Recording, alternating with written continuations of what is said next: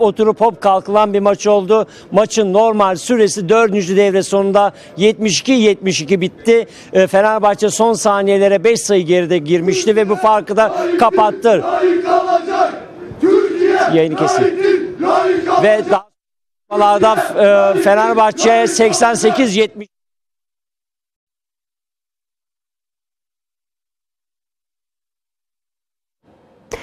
Sayın seyirciler futbol gündeminde bir hayli yoğundu bugün.